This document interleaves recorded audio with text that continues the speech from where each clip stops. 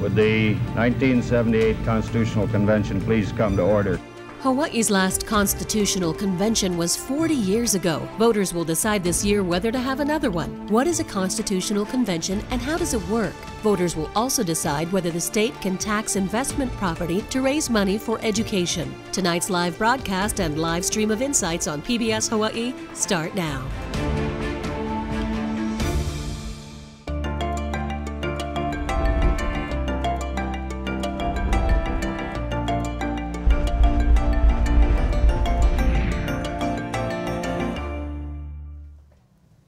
Aloha and welcome to Insights on PBS Hawaii. I'm Daryl Huff. Tonight we take a break from our candidate forums to discuss the constitutional questions facing voters in the general election. In our first half hour, the CONCON. Voters will decide if there should be a convention to make amendments to our state constitution. After a quick change, we will have opposing viewpoints on the other constitutional question should the state be given the power to tax investment property to support public education? We look forward to your participation in tonight's show. You can email, call, or tweet your questions, and you'll find a live stream of this program at pbshawaii.org and the PBS Hawaii Facebook page. Our volunteers, PBS Hawaii friends and family, are standing by to take your questions. They look all happy and right now idle. So please keep them busy. we plan tonight's discussion with this question that will be on the November ballot. Shall there be a convention to propose a revision of our, or uh, amendments to the state constitution? I can tell this question is going to confuse a lot of people because I can't even read it. To date, Hawaii has had three constitutional conventions 1950, 1968, and 1978. By law, the question on whether to have a CONCON must be put to the voters if the legislature has not proposed having one in a nine year period. It's been 40 years since the last CONCON. If voters say yes to having a CONCON, what issues would you like to see included? Let us know. Now to our guests. Our first is Avi Soifer. He's the Dean and Law Professor at the William S. Richardson School of Law at the University of Hawaii at Manoa. Our second guest is Peter Adler. He is a planner, mediator, facilitator, and principal in a professional network of consultants. And Peter, I'd like to ask you the first question because you've been actually studying this and talking to people about this. This vote, what kind of pressures are there on the voters to do this, to approve this? Because they've rejected it so many years. So, um, one, it's a it's a mechanically it's a high bar to get to a constitutional convention, and we can talk more about that later on. Um, but I think that the it has to be on the ballot, as you've said, and I think that there will be a lot of political aligning around this as the issue percolates and bubbles up in the next month.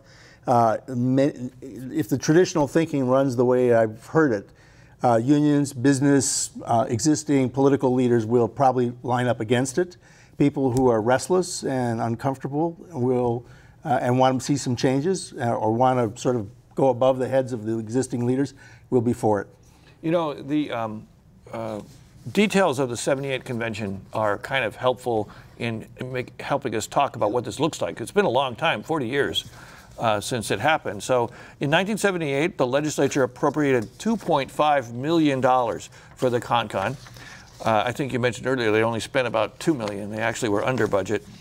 In 2018, the estimated cost of a constitutional convention is 55.8 million. That's an estimate from the Legislative Reference Bureau. We'll talk a little bit more about why it might cost that much. The 1978 CONCON opened in July of 1978. It lasted 65 days. It was held in the old federal building on King and Richard Street. There were 102 delegates from 51 districts, probably from the basically the House districts at the time. 30 women, seven altogether had held elective office. Only a couple were actually still in office at the time. Almost half were under 34 years old. And the 2018 ballot question, shall the legislature be authorized to establish as, oh, I'm, I'm really having a rough night here. That's the next section. Have some water, have a beer. Yeah, okay. anyway, so after, assuming the voters approve this, are those numbers the kind of thing we can expect? $55 million? dollars? No, well, I think that's one. I've heard other numbers running around too. I think you could take the let's say two and a half million dollars and bring it up to today's dollars, and that would probably be a minimal, minimal kind of. And who decides how so big much, it is and how long it is and all that? That's stuff? the legislature. So if the voters approve, it goes to the legislature. They decide the length of time. It could be 50, you know, 51 delegates instead of 102. So a lot of the devil's in the details on the expenses of it, on how it's organized. Um, uh, obviously, for how important is this is this document, and does it need to be changed? I mean, there's always talk about how constitutions are important to be fixed, but do you think our Constitution needs to be changed?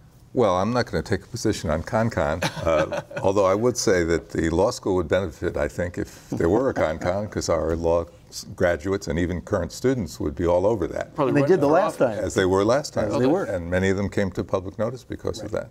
Uh, but uh, I think we do have a pretty good constitution. I think the basic question may come down to how risk averse people are and how much they think government is right now working okay, not working at all, or uh, great, or in What, need of what, what, fixing. what kind of risks are there?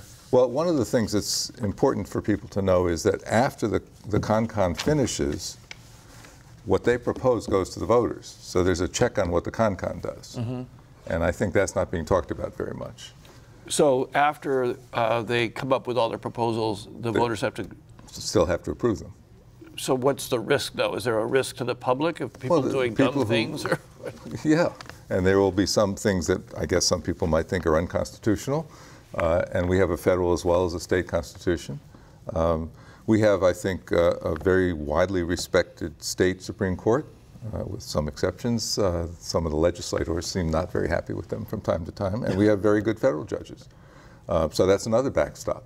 Um, so there are a lot of checks on even what a CONCON would do. So one of the things that I have been talking to some of the previous CONCON uh, delegates who have now gravitated into senior careers in different areas, not just in politics. But one of the things that impressed me was they've said, you know, uh, the, the co- 78 CONCON was a mirror of the times. It's a mirror of what was going on. And the question is, do our times warrant that? It's not just a question of the Constitution, but there's a lot of, uh, you know, sort of grumpiness about the legislature. They don't move on things. And so CONCON becomes a, a, a way of moving some of those issues. You know, one of the things that was really big in 78 was initiative, referendum, and recall, which was uh, narrowly defeated during the CONCON.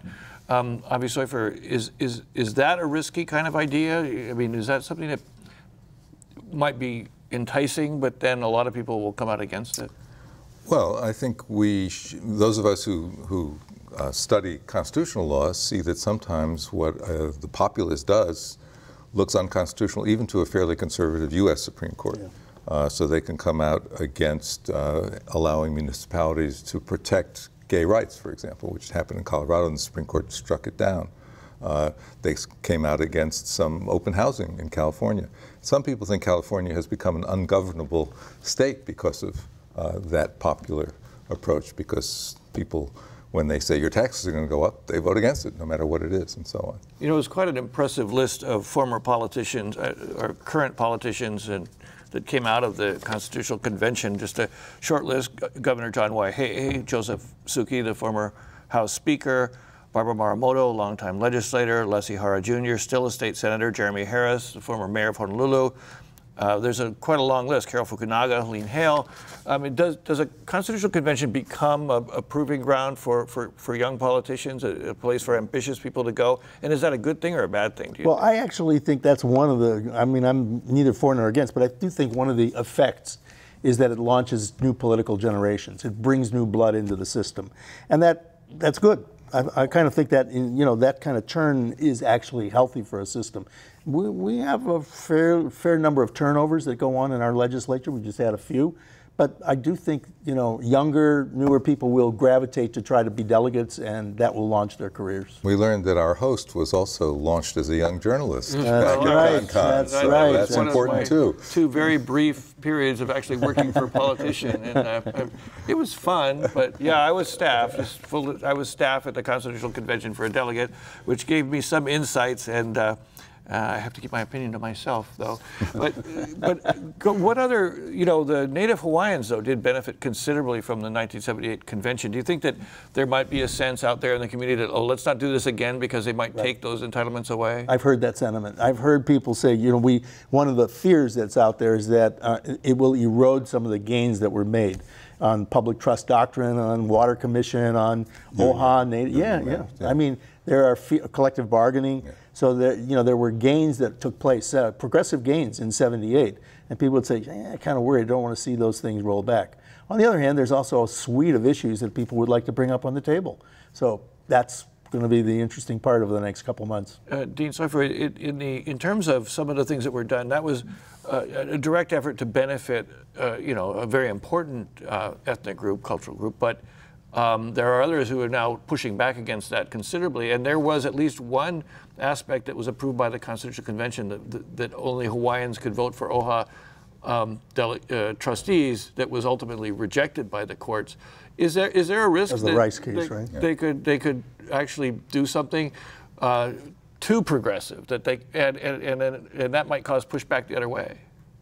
Well, I don't know what you mean by that, but there are people just following on what Peter said who say, well, OHA isn't what we meant to set up, the way OHA is now working, for example. So one could say, well, we want to go back to what we intended, or we want to change OHA in some other ways. Um, so sometimes it gets hard to tell what's progressive. I, agree, I agree with Peter that when you look back at 78, it was progressive for its time. And so the question now is okay, we've got what we've got. Would it be too radical a step to change it? Again, there are some protections even after CONCON is over. You know, Peter, uh, we did show that picture of the 55 million estimate for a, a constitutional convention today. Um, and there is a question from a viewer right on that point. Why is the convention so costly? Should taxpayers be concerned about such a large price tag? But there's some ways of controlling that. There are. In the legislature, because they, they really control the dollars and the numbers of delegates, they can de- decide whether they're, it's gonna, you're going to have to rent an outside facility or to use a state facility. I mean, those are cost questions. And so there's a lot of controls that can be put in place to keep costs reasonable. Who knows what could be done in terms of, uh, you know, electronics and internet work participation. I mean, there's there may be lots of ways to do it. I, I don't. I'm not questioning the, the LRB's estimate. I just think it's only one estimate, and I think there are others out there. You know, uh, comparing our Constitution to others, it does provide significant strengths to public employees unions in this state, probably more than other states. Do you see that being a big factor if there is actually a con? Well, the U.S. Supreme Court at the end of the term uh, did something very serious to affect and to attack uh, public unions. Mm-hmm. Remains to be seen what will happen next. A lot of that depends on the members of the unions. And how are the unions going to try to get them to pay their dues if they don't want to pay their dues? And it may be by a shaming list or something like that. Uh, but it is state by state as to what the law is going into that constitutional question. Another big thing that ends up on the table in a constitutional convention is the electoral process. You know how they can actually change how many representatives there are in the state, whether we have a unicameral or bicameral legislature, all those multiplicity of things. Um, campaign spending uh, nationwide was affected by the Citizens United case. Mm-hmm. Could a convention come in theoretically and have Hawaii as a state do things that the federal Supreme Court has said you cannot do? No, when you put it that way, but there are a lot of things I think that can be done, uh, even with Citizens United on the books. And corporations are actually creatures of the state. So the state can regulate corporations. From that, it might follow that there are some things that the state can do as a matter of we want to control our corporations. Now, there aren't that many in Hawaii, but mm-hmm. there are still some. In discussions with people who, again, I've been talking to people on all sides of an issue, this issue, and one of the fears is that we would see open a floodgate of uh, new money coming into the state, external money from the, the mainland and from the uh, fairly right-wing organizations to prop up certain delegates and certain issues. So you could you could imagine you know an in, inflow of uh, dollars, and Citizens United sort of puts tailwinds behind that. Um, help me out a little bit more. So you, what you're saying is that you could see outside money coming in to try and influence who the delegates are and, and what they do. Yes. What issues I mean, that, that would be around? Well, I mean, let's say you wanted to shift from one of the issues in '78 was whether judges should be selected or elected. So all of, imagine there was a proposal suddenly let's go to elected judges again. So you could see, you could imagine certain right-leaning uh, judicial programs saying, well, yeah, we want to support that. So I, I, don't, I don't know that they would, but I'm, I'm saying you, you, could conjure up a number of circumstances, and it's one of the things that I've heard uh, people are worried about. How about Russian money? could be. Um, yeah. the, on, the, on the issue though of electoral changes, you know, we just had a primary election where uh, Republican Party is practically irrelevant, where the uh, turnout is so low. do you think that improving our electoral system might provide an incentive for a constitutional convention? Let, us change things to help balance things out. Or it could be that the, the a con-con springboards those changes. As they could say, we're going to go to all mail uh, voting, or we're going to go to mandatory vote. I don't know if they could do that one, but oh, mail, M A I L. Yeah, yeah, okay, yeah. I just no, no, no, no, Carol, there, I thought, well, that was pretty radical. or, or, or uh, for example, what do they call the instant runoff method of voting? I mean, there are options, and a constitutional convention could say, let's pick that up, let's put it out there as a proposal, let's debate it, and see if we want to get it on the ballot. So it could be the other way around. It could be along with term limits, initiative, and all kinds of things. I think there's a lot of county issues that may come up too. I For example, um, Hawaii is one of the only. I think it is the only state that has no political subdivisions below the county level, no municipalities. We're one of, I think, the only state, and yet there's tremendous pressures for community consultation. But who do you consult with? And so that's one giving them more taxing authority so they can raise their own revenues. I mean, I think those are issues that might bubble up in a convention. Um, what do you think of that issue in the sense of you, you look at Hawaii's state government, it's very centralized, mm. and the counties are very limited in their power. Do you think there would be a lot of pressure to give more home rule? I think there well might be. Uh, the basic law of uh, state and local government law is that the state really has the authority. So if the state really comes to blows, as it were, against the county, the state wins. Um, and then in terms of the uh, uh, union, the impact of unions, how is our Constitution um, protect unions in this state uh, more than other places? I know there's privatization rules and so on. Um, is it possible that you think how do how will the unions be involved in this process? Do you expect in, in the in a con-con in, in, all the way the election process and into the constitutional convention itself? Uh, I, I don't know. I don't know the good the answer to that. I do think uh, that one of the products of the 78 CONCON was a strong collective bargaining regime and law. And it's possible that you could say, well, we want to make that, some people would say, we want to make it even better, stronger. And other people say, no, no, no, no, wait a minute. So I think that's the kind of ferment that would be created by a CONCON on that issue. Um, you know, we, we do have this, the privatization provision has been used repeatedly to prevent the government from hiring private companies to do things. Um, do you expect that private business might start participating in pushing candidates or pushing issues? Sure. Yeah. Yeah.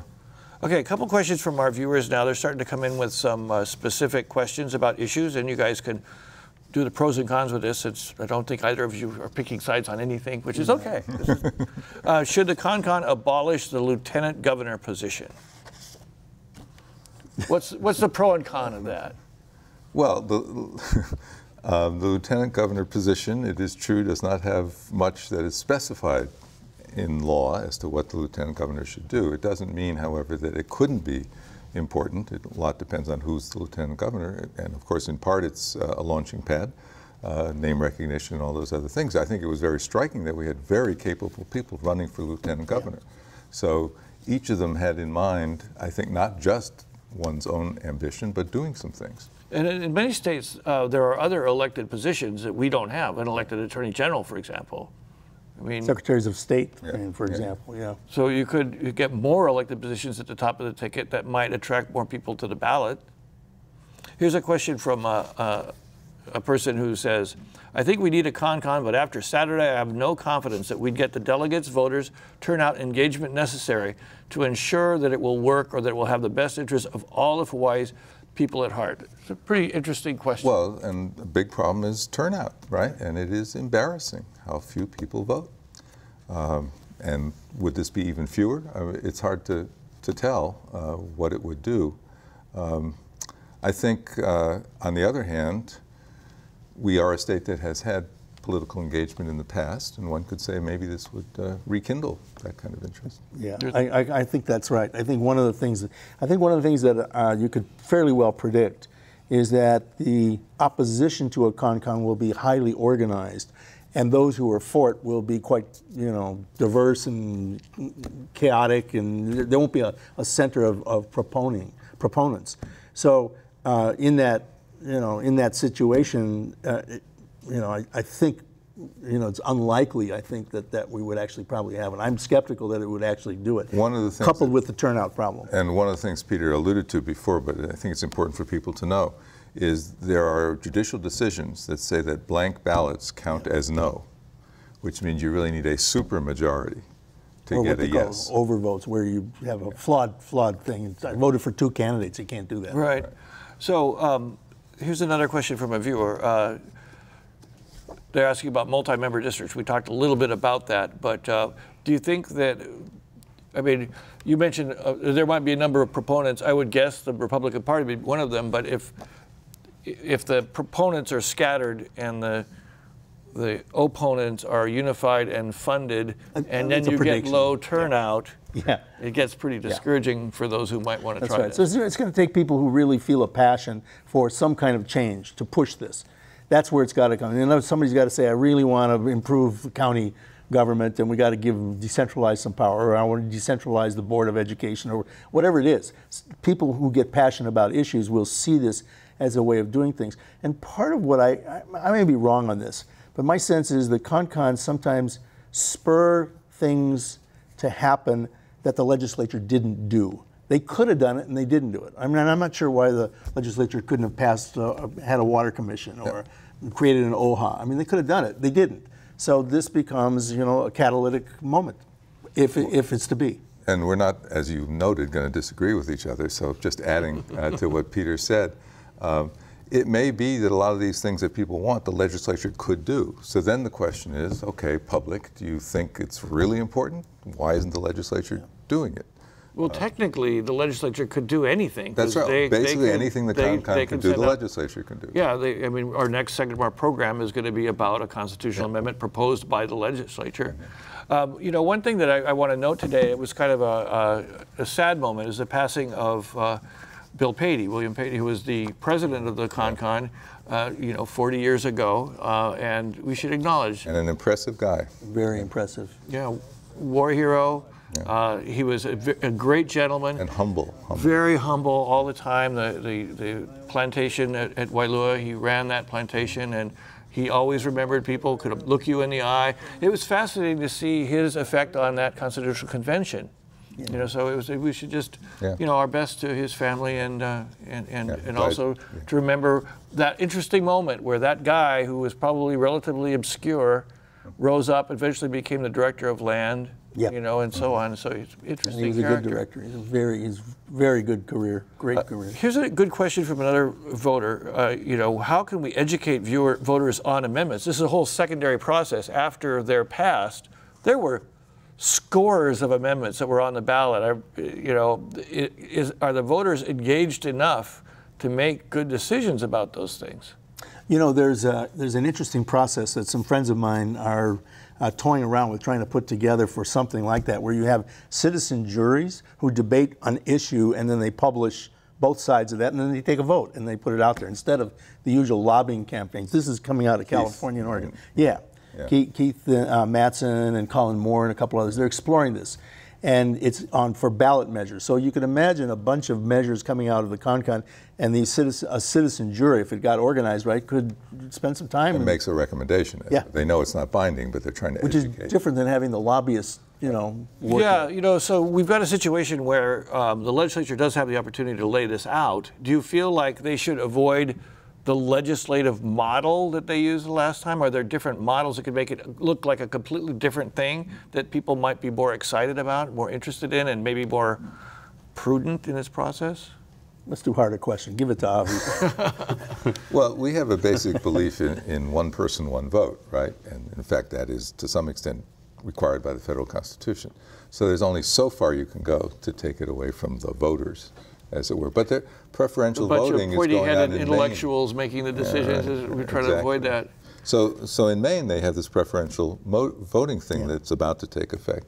And so if your number one candidate doesn't need your vote, then you go to your second one and so on. So that's, So you're not going to make an opinion, but make a prediction. Are we going to have a con-con or not? I would guess not if I had a, if you were pushing me on it, but that could change in the next month. We'll see how this. We're just early. It's early days in watching how this issue is bubbling.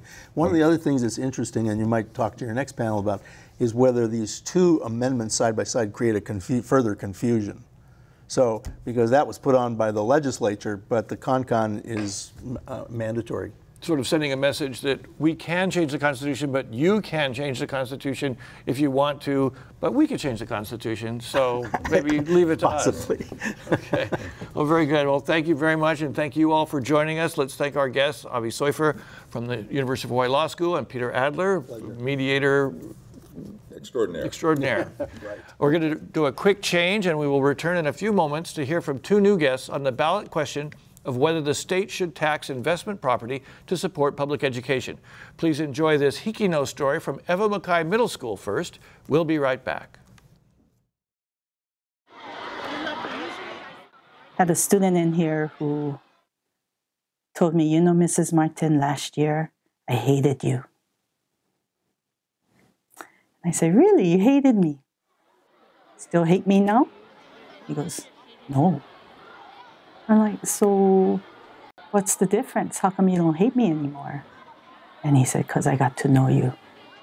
Mrs. Jerry Martin, a vice principal at Ewa Makai Middle School in Ewa Beach, has a reputation for being the toughest administrator at the school. However, she has grown accustomed to the thought of students calling her mean and being frightened by her. I think there are students that think I am mean. rumors that people said about Miss Martin was that she's mean and like the way that she used to look at them was like like they didn't like it. I thought she was kind of strict and harsh. Despite what students may say, Mrs. Martin's mission goes much deeper. Growing up, I didn't like the way my life was. And uh, I was a very, very angry person. And being an angry person, um, if anybody looked at me the wrong way or said the wrong thing, I'd lose it. I had a really bad temper. And took my anger out on, on people, and they didn't deserve that. And had to take responsibility. And now, um, realizing that I had hurt so many people, promised that I would do everything I can to, instead of hurt people, help. To make up for her past mistakes, Mrs. Martin began serving her community by coaching sports in hopes of helping others. When I was involved with community sports, there were a lot of students who, who didn't have family that would come to their games. Um, they'd be embarrassed at potluck on potluck days because they wouldn't be able to bring anything. And um, so it was those those individuals that um, I took in that would come home with us and, and stay. And sad thing is, some of their some of their families wouldn't even call to check on them. But um, I think being able to to not just take care of my sons, but to be able to take care of the greater family, which is the community. Although some students may think that Mrs. Martin is harder on them, she only wants to steer students towards the right path. She helped me with problem situations, like when I fight with other students in school, and I always get pulled into her office. She always like tells me stories about the same thing that I'm in, and that I'm not the only one who's in this situation. Even though you think that she's mean, she's not. She's a very caring person. For me, every individual matters. Every individual has the potential and the right to be happy and successful. Even though Mrs. Martin may be tough on the outside, her caring nature shows students that we can all grow from our mistakes. Thinking. This is Christina Overly from Ewa Makai Middle School for Hiki No. Have fun. Aloha, welcome back. For this next half hour, we are featuring two guests who have opposing views on the ballot question of adding a state tax on investment property for public education. Please continue to email, call, or tweet your questions, and you'll find a live stream of this program at pbshawaii.org and the PBS Hawaii Facebook page. Our volunteers are standing by. Here they are again, eagerly waiting for your calls and taking in some calls, I see. Last spring, the legislature approved a bill that puts this question before the voters. Shall the legislature be authorized to establish, as provided by law, a surcharge on investment property to be used to support public education? Let's hear what our guests think. Our first guest is Corey Rosenlee. He is the president of the Hawaii State Teachers Association, which represents 13,500 public school teachers across the state. Our second guest is Sherry Menor McNamara. She is the president and CEO of the Chamber of Commerce of Hawaii, which has 2,000 business members in Hawaii. Let me start with you, Corey Rosenlee from HSTA. This was your proposal at the legislature. Uh, supposing it passes, how would this work? How would, this, how would you decide how much taxes, who gets taxed, and that sort of thing? Well, I think even before we get there, we've got to ask why. Why do we propose this? Um, and I want to say that, you know, first of all, we have some great schools and we have amazing students, and we have people working really hard. But for too many of our students, right now we are facing an educational crisis. For the first time this year, we had over 1,000 classrooms without a qualified teacher. And what that means is for many of those classrooms, we have substitutes in those classes. Um, you may have a substitute teaching, uh, teaching Spanish that doesn't know Spanish, or teaching calculus and doesn't know calculus. Um, our estimates are that about a third of our students, or tens of thousands of students, every single day go to school and have at least one teacher that's not qualified. When it comes to special education let, in the state, me, I just want to interrupt yeah, sure. for a second because because I mean I think that you could make the argument very well that the schools are underfunded. Well, sometimes and, and, people don't make that argument, and I think that that argument is not made enough. I think that that's why we need to do this. So, okay, good. So, um, my question was, so what happens after this? Does who decides how much taxes and so on? So what would happen right now is this is going to go to the people, and the question, the first step is, uh, we are hoping people are going to vote yes on this constitutional amendment to fund our schools. And then when that does pass, then the legislature is going to have to work on the enabling language. Uh, and there are certain parameters that we're looking at. First of all, we've been working on this for two years. And what we're looking at is to look at second homes over a million dollars in order to bring in something between two to four hundred million dollars of additional funding for our schools. So how much does that work out to as, as, a, as a number, a, a percentage? 2%, 3%, 4% additional? Depending how you work on it, it's anywhere from 10 to 20% more. A 10 to 20%? I mean, we would love to have more than that. Uh, we are probably about a billion dollars short of what our neighboring districts do or what similar districts do. But we've been underfunding for our schools for so long that that's why we're so deep in our hole right now. Uh, Chairman Menor McNamara from the Chamber of Commerce, I mean, you, you folks are coming out against this. Do you feel the schools are adequately funded, or is it more about how you get the money? Sure. First of all, oh, the Chamber is part of the Affordable Hawaii Coalition. And I'd like to state that we strongly and wholeheartedly support public education, our teachers and students. I'm a proud public school graduate, K 12 from Hilo. And so I certainly know the positive impact my teachers had. In fact, I just went home to Hilo and ran into my 90 year old teacher. Uh, so I certainly expressed my appreciation to her. Uh, the concern is the amendment is so broadly written that it can apply to any type of property. And I know uh, the $1 million has been out there, but this amendment does not apply to, again, all properties. So it could be properties under 1 million or over. Uh, so the way it's broadly written is what concerns us. And we believe that this amendment, if passed, it will increase the cost of living, it will increase real property taxes, and it will have an impact on affordable housing uh, and potentially increase rents as well. And finally, there is no guarantee that the money will go towards teachers and students. Uh, and so for those reasons, we do not support and we oppose the amendment. Do you feel that, how do you feel about that? Well, and that's the thing. Uh, if you look at this uh, situation, the reality is that corporations and outside investors, they can't vote in Hawaii. And there aren't many multimillionaires and billionaires. So the only way they're going to win is by creating fear. And they're actually going to try to get people to vote against their own self interests. This is really a question about investors versus keiki. Uh, and which one are we going to choose? Um, the investors pretty much are only concerned about their bottom line. But if they're successful, our schools are still going to be underfunded. We're still going to have tens of thousands of kids that are not going to be able to get a quality education. And the question is, what are we going to choose? Are we going to choose our keiki or are we going to choose investors? And I say we need to choose our keiki. Do you feel that that's the question? Uh, well, when think of investment real property, it's a bit misleading because think um, big companies or foreign investors coming in and buying these multi-million dollar uh, buildings. But again, the way the amendment is written applies to all types of um, properties, including residential and commercial. So let's say uh, grandparents invested in a property, a walk-up, so that one day they can turn it over to their kids or to their grandkids or how about working families right now investing in another property so that one day when they retire, they can live in this property invested in? Or take businesses, commercial leases, those will go up, and small business will be impacted by that. Their leases go up, then the cost of goods go up. Our favorite okazuya or favorite plate lunch place the prices will go up. Because again, going back to the amendment, it does not specify a dollar amount. It's very broad and vague. I'll let you be specific about your response to that. And, and that's exactly what I see. This is exactly what they're going to do. They're going to try to make this broad tax, they're going to try to make everyone afraid of it. We've been doing this for two years.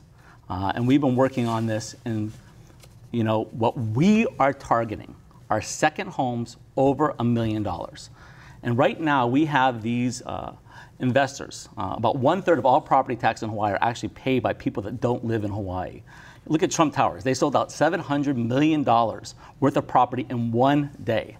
And if these people can come to Hawaii and be able to spend $700 million, then they should be able to invest in our keiki as well. Let me, okay, I'm, I'm interrupt you one more time because we only have a half hour show and I have a pile of questions already and I want to get to them. First, let me uh, take a look. Let's take a look at the question one more time because it, it sounds like this is very important, and particularly the, the Chamber of Commerce, because some of the things that you're talking about, the $1 million, uh, for example, specifically is not mentioned in this question. The question is, shall the legislature be authorized to establish, as provided by law, a surcharge on investment real property to be used to support public education?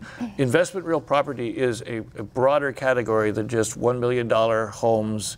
You know, so, I mean, the question that came up from a viewer uh, isn't it true if the legislature wants to, they could move 100% of school funding to property taxes? Of course, it would exempt owner occupied property, but beyond that, is it possible that the legislature could go, aha, and just shift it all to property taxes? Well, legis- like, legislators like to get reelected. And if they try to do that, they wouldn't. Um, and this is, if you haven't been through this, we have been. In fact, legislators, if anything, have been talking about homes over 1.5 million or 2 million dollars. Um, and, and we do at one some point got to think about what we are trying to do with this money. Uh, Hawaii schools, we are 45th in the nation in per pupil spending. Uh, we do not invest in our schools. Uh, we spend about $6,000 less per pupil. Uh, every other state in this country uses property taxes to fund our schools. We are the only ones that don't, and that's why our schools are underfunded. Let me ask uh, Chairman or McNamara that, on that same point. If indeed this becomes a schools or rich outside investors question. How do you respond to that in saying, you know, do you feel there's other things that should be done? Do you feel the schools are funded adequately, or do you feel that there should be some mechanism other than this? I think you know, anything to, to, support public education, right? And we need to look at all options. One, the legislature did pass a couple of laws uh, in previous sessions that would help provide revenue to the Department of Education. Two, we need to, DOE should go through a thorough audit to find out what are what are the areas that need improvement, where are the resources going, and we don't know that. Uh, and three, I know uh, Corey mentioned $1 million in our properties. According to the County of Honolulu, uh, that amounts to almost $39 million. And so that's not nearly enough of what the $500 million goal that uh, Corey had mentioned um, in, in, public. And so there's still this big gap. But again, going back to the amendment, it does not specify uh, the, the, what the, the minimum level of the real uh, investment real property should be.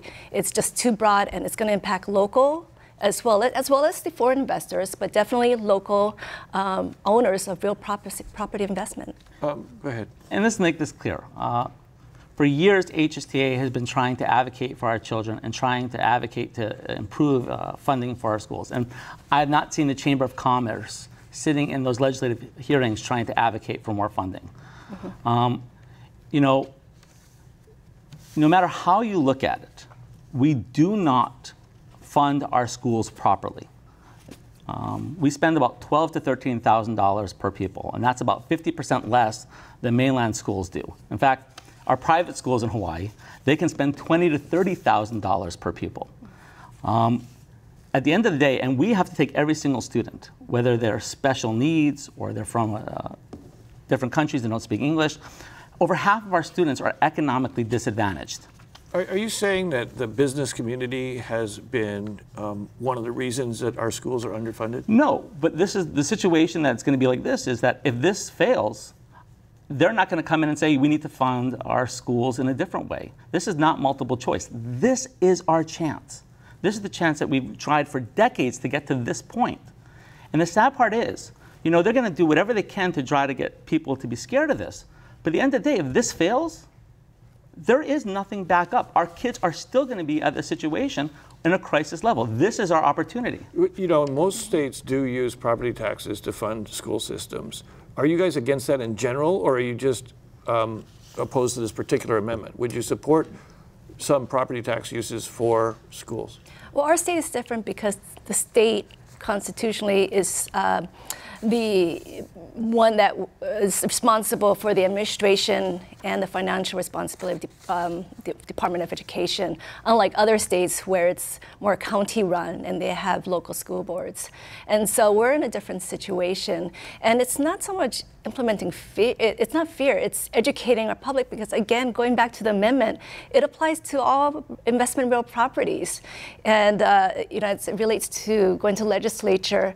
Uh, the business committee does do a lot non-legislatively. We uh, do, donate a lot of goods and services, and we support where we can. In fact, the chamber chamber right now is working with a few schools to help connect the business community with teachers and students to ensure that there's this relationship uh, and ensuring that the students are prepared for the future jobs. And so, non-legislatively, yes, but in terms of legislatively, let's talk. Let's have that discussion moving forward. So we're, um, we're we hundreds do, of millions of dollars short. Where do you, as the Chamber of Commerce, believe we should? Who should we tax in order to be able to bring in that revenue? I think we need to look at all options again. Uh, DOE has not gone through a thorough financial audit in recent history. But even if we were at 100%, okay, even if we, I mean, amazing thing happened, they're at 100% efficiency, we would still be 45th in the nation in per pupil expenditures. There's got to be a point we do need to raise additional revenue. And, and Daryl, when you first brought the first question, everyone agrees we need additional revenue. There are some that don't. And that's why we need to make people aware of, I mean, teachers are, are on the front lines. We are aware of these problems. Well, and that's why we're asking that we've got to find a way. And the question is, are we going to tax the rich? Are we going to tax the poor? And this is the best way that everywhere else does it. Let me ask this question. I'm sorry. It's okay. Um, do you feel that the legislature, you say the legislators, if they, if they shifted everything to property taxes, they wouldn't get elected. Well, the fact of the matter is, they're the ones that, you know, in your mind, have not been funding public school properly. Do you think that there's any way within the existing revenue of the whole state that they could properly fund it just by changing their priorities? And that's the thing. There's no magic pot that's going to fund our schools. And often, what's happened is, is a question of do we take care of our kapuna or do we take care of our keiki? And as healthcare costs have risen and people are living longer, that's taken a larger share of our budget. And over a period of time, the uh, budget for education has decreased and has not kept up with cost of living. In fact, Hawaii spends the least percentage of both state and local taxes towards education compared to any other state in the entire country. The last. I know I interrupted you, but go ahead with where you're all right. Yes. Okay. Okay. So um, a couple of callers here, and I'm trying to organize these, they're talking about other places that they'd like to see this focused. For example, short-term rental property tax specifically. Um, is the when you if you get this amendment passed and you're at the legislature, how much are you going to be in a driver's seat on things like that? Would you think that that alone could generate enough money if you focus just on vacation rentals and so on? No, uh, and that's why we've done this. It's taken a long time to get to the point where we've gotten. Uh, and there's not a multiple choice. Um, there's not things like the lottery or people have said marijuana or all sorts of things. In each of those cases, none of them bring in the revenue that would be needed. This is the best way to do it. And that's why we've gotten to this point. Uh, Let me ask the question though. Investment real property. I've got a caller here. What is considered an investment property? The, the suggestion could be is that it could be any kind of uh, business property. Um, how do you make sure that it's only on these second owner homes, offshore investors? I mean, you talk about offshore investors, but an awful lot of them are owned by local people. Actually, they're not. Um, most, like I said, about one third of all of our properties are actually owned by non-residents, and this would be able to take a homeowner's exemption. So if you, let me put it this way: if you own one home, you won't have to pay this, and and it doesn't matter the price. If you own a one home and a condo, you won't have to pay this. It's only for those that own a second property over a million dollars, and those that are buying a home in But, you know, will not but- have but that that's- ability. That's not what it says. I mean, for example, if I downsize and I rent out my house and I move into a, a condo and I rent the condo, this that would be an investment property, right? If you have two properties, again, No, if I rent a condo and I own a house and I and I rent out my house, that becomes an investment property, right? So when we were looking at this, and we have many legislators on record specifically saying that they're looking at second homes over a million dollars. And I think that we have to reiterate that because they're going to try to say that it's everything in the moon, and it's not. Um, and if it was, this would not pass. The reality is, this is what we were pushing for, and that's what we're going to do second homes over a million dollars. Go ahead. With that said, going back to the amendment, again, it is so broad. It's investment real property does not state $1 million and over. And if um, some legislators have expressed that, they may have been, that may have been last session. I don't know, maybe that might have been the intent, but intent cha- may change. Uh, the composition of the legislature will change. It already did after the primaries. Uh, maybe not next session, but the following session. It gives a blank check for the legislature to tax any property not only $1 million and over, but below. And that applies to both residential and commercial. Okay, let me get on to some, some viewer questions because I want to respect our viewers who've gone to the trouble of calling us. Caller owns investment property and she is willing to pay the tax to support public education. Um, question for Sherry Does the business community recognize the toll that high, high teacher turnover takes on Hawaii public school students? Well, we recognize, and again, we support teachers. All we're asking is, you know, have the DOE reevaluate, find out where there's resources not being spent and where are resources spent, where they could redirect the resources. And a few sessions ago, the legislature did pass legislation that will help DOE raise revenue. Uh, so that's another option. Going back to How this would the DOE again. do that? What's the idea?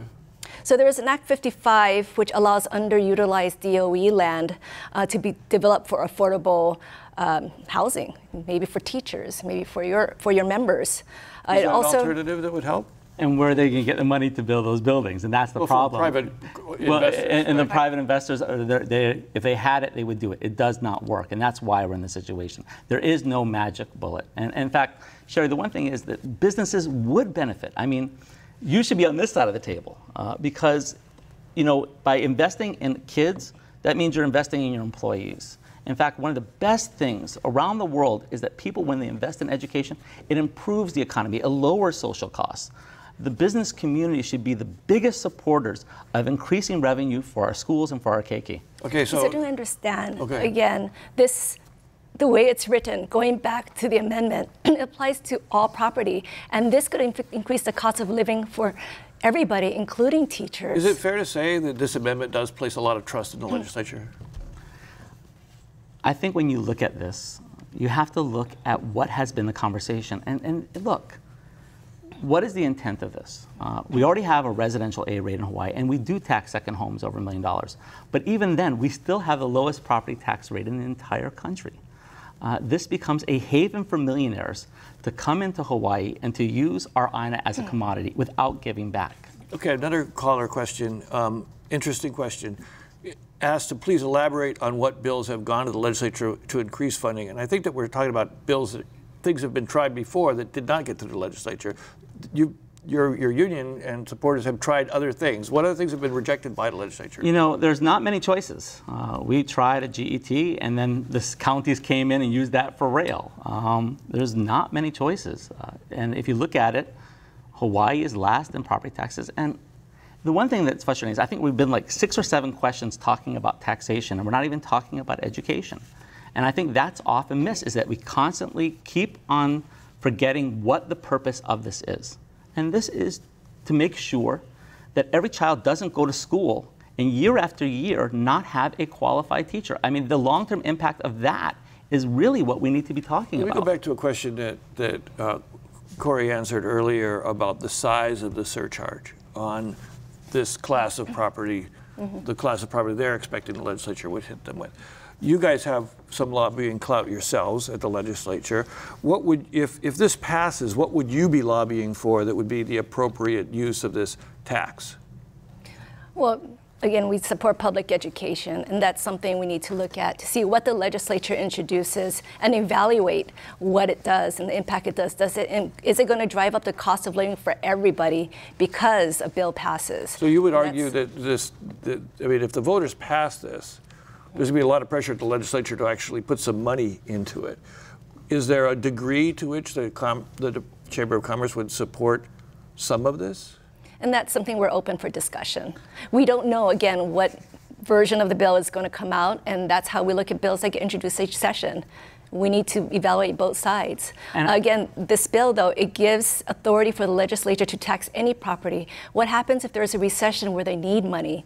Will they now amend the bill, amend the bi- uh, law so that it does go below the $1 million threshold? And the counties as well. The counties' sole source of revenue is through real property tax. I need to respond to that, please. Okay, all right, Okay. quickly. First of all, I feel that no matter what way we try to generate revenue, the Chamber of Commerce uh, is going to come out against it. Um, second of all, this does not take one dollar away from the counties, uh, and that's Well- again, that's that's one of those attacks that's very frustrating because again, it's a fear tactic to try to divide people. It's not going to take one dollar away from the county. Well, okay, here's a question that did come in from a viewer. What are the proposed impacts to county real property revenues if the constitutional amendment is passed? Now, I know that this is on top of their current Exactly. revenue, but doesn't it, in reality, make it even, if this is being taken out, it would make it harder for them to raise or, or do do this for the county purposes, right? No, it wouldn't. Uh, it doesn't touch that at all. In fact, the easiest way to compare it is when you go to the gas tank and you pay a surcharge for local, state, and federal. Uh, they're independent of each other. Um, and the counties would still have 90% of the market that's not even touched by this. So they would have uh, plenty of opportunity. It does not take $1 uh, from the counties at all. Uh, Do you, are you guys, um, have the counties lined up with you on this? Well, if the counties do oppose it, but if that's the case, and but the states, this passes, and the states now has authority to uh, place a surcharge on investment real property, that's an additional tax. So again, that's going to drive up the cost of uh, housing, uh, business leases, Okay, but- commercial property. Okay, I, want to get to a couple of questions. Okay, um, do a lottery. People are moving away because of the high cost of living. Do a lottery. A lot of states have lotteries for education. Do you guys, would you guys have supported that if that was an alternative? So we've looked at that too. Uh, it, it sounds good at first. About $240 million would be brought in the lottery, but about 70% of that actually goes to pay for the lottery. Uh, and, and what happens is, is that 50% of all lottery actually taxes the bottom 20%. And the reality is in Hawaii, the poor actually pay more, uh, higher percent of their uh, income than the rich do. And that's because the property taxes. Do you think, knowing what you know about legislators, that if they had this opportunity, that they would use this money to, to actually reduce the amount of general funding that goes to schools so that they could take money from property taxes and then take the money from general funds that's now going to schools and use it on their programs? Is that something you suspect they would do? Potentially, potentially, right? We don't know what the intent of the legislature will be next session or the following session, but we do know that this amendment will allow them the opportunity to provide uh, increase, uh, place, excuse me, place a tax on any level of uh, real investment So in property. to translate that question to you is, do you have a fear that the legislature will just give you this, give schools the same amount of money overall, but just use the property tax, and then, then the legislature has a big pot of money to play with? That might happen, but I can guarantee you, one, guarantee you 100% that if this fails, we're not going to have any more money. And I think this is the message that we need to send as a public. We need, through this vote, say to legislators that education is important, and that's just a larger issue. We don't disagree public education is important at all. Uh, but again, we just As don't long as we don't fund it. There's no guarantee that this money will go to public education Because, like you mentioned earlier, they could potentially reduce the DOE $2 billion budget because this income is coming in from uh, the investment real property surcharge. And so we don't know. Why, why are you, why is it we, we, you have to do this, find another source of revenue for schools? Why is it the legislature won't fund the schools adequately? We are the only state funded school district. The entire system is broken because, again, we're the only ones that don't use property, property taxes. In the mainland, about 45% of all revenue comes in from property taxes to pay for our schools. And because of what happened 100 years ago, that's why it's broken now, and that's why our schools are so underfunded. Um, and, you know, right now, it's just too many kids. There's just, we don't have the basics. And I'm telling you, as a teacher, um, I taught in classrooms that were 100 degrees with 40 kids, broken desks, 30 year old textbooks that were falling apart, and every year the teacher next to me would be leaving.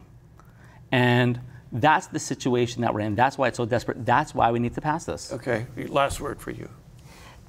As I stated earlier, this amendment, if it passes, it will increase the cost of living, it will increase the real property tax, and it will impact affordable housing just because it is so broadly written that we don't know what the consequences will be. We don't know what the intent of the legislature will be next session or following sessions. But once a Con Am is in place, it'll be very difficult to reverse it. Okay, thanks very much, and thanks to all of you for listening, and mahalo to all of you for joining us, and we thank our guest, Corey Rosenlee from HSTA and Sherry Menor McNamara, CEO of the Chamber of Commerce. Next week on Insights, we are back to our candidate forums. We start with the at-large seats for the Office of Hawaiian Affairs. There are three seats and six candidates.